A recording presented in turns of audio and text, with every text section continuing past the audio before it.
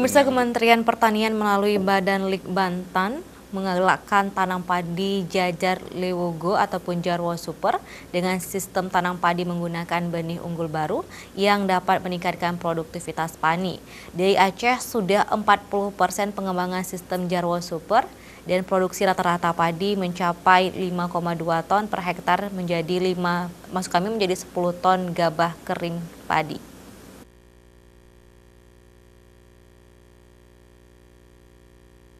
Balai Pengkajian Teknologi Pertanian Aceh terus menggalakkan sistem tanam padi sawah jajar Legowo Super di sawah irigasi dan Largo Super untuk lahan kering di beberapa lokasi pertanian di Aceh. Salah satunya di Taman Teknologi Pertanian Janto Aceh Besar. Di lokasi ini petani dan penyuluh bisa belajar cara menanam padi Jarwo Super. Teknologi Jarwo Super merupakan budidaya terpadu padi sawah irigasi berbasis pola tanam 21 Teknologi tersebut direkomendasi Balit Bangtan melalui serangkaian penelitian dan pengkajian di beberapa wilayah di Indonesia.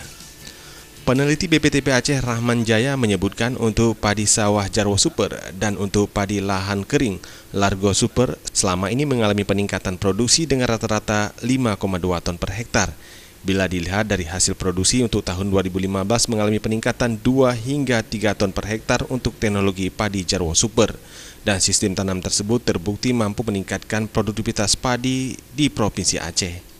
Adapun yang membedakan sistem tanam tegel dengan tanam Jarwo Super, yaitu penggunaan benih berkualitas sesuai dengan spesifik lokasi. Dan untuk saat ini, sistem tanam Jarwo Super baru 40% diterapkan di Aceh. Secara bertahap, BPTP Aceh akan menerapkan kepada petani di Aceh. Harapan kita memang seperti itu bahwa sistem pertanaman ini mungkin yang akan bisa meningkatkan uh, produktivitas tanaman kita.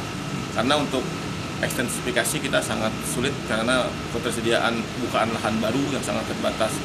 Salah satu caranya dengan ekstensifikasi yaitu dengan menggunakan sistem mengubah sistem pertanaman tegel ke arah sistem pertanaman jarwo yang dilengkapi dengan jarwo super.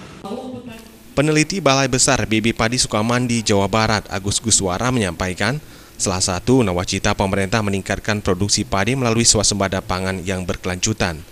Salah satu peningkatan produksi padi melalui penerapan teknologi sawah irigasi padi Jarwo Super dengan memiliki varietas padi unggul baru yang memiliki potensi produksi tinggi dengan varietas unggul pengganti cehrang yang selama ini ditanami oleh petani dan harus segera diganti oleh petani dengan varietas yang menghasilkan potensi tinggi dengan percepatan inovasi teknologi sekaligus mempercepat produksi tanaman dengan olah tanah dan pemberian pupuk berimbang. Makanya sekarang Balit Bangtan kita ada mesin tanam untuk Largo Super. Jadi kita membuat suatu larikan dengan sistem jajar regowo. Semuanya itu akan tertata dengan baik. Apa pun inovasi yang akan kita lakukan pasti sesuai dengan apa yang kita. Jadi salah satu terobosannya adalah bagaimana percepatan untuk lahan keringnya, bagaimana kita menata tanamannya, bagaimana kita memberikan asupan yang namanya unsur hara yang diperlukan untuk lahan keringnya, bagaimana penganan OPT-nya, termasuk panen menggunakan alat mesin panennya. Agus Kuswara juga menambahkan Bali Bangtan juga memiliki sejumlah inovasi sekaligus menerapkan alat mesin tanam dengan Jarwo Transplanter dan pemakaian dengan mesin Combat Hanspaster khusus untuk sawah irigasi. Sedangkan untuk lahan kering Bali Bangtan, Kementerian Pertanian sudah menyiapkan Largo Super untuk mengoptimalkan lahan-lahan kering dengan penerapan inovasi dengan varietas unggul baru Impago 7 hingga Impago 12 memiliki potensi hasil tinggi. Upaya tersebut dalam rangka menyambut tahun benih 2018 sekaligus meningkatkan produksi, menyiapkan benih sumber yang dibutuhkan oleh masyarakat. Tim Liputan Aceh TV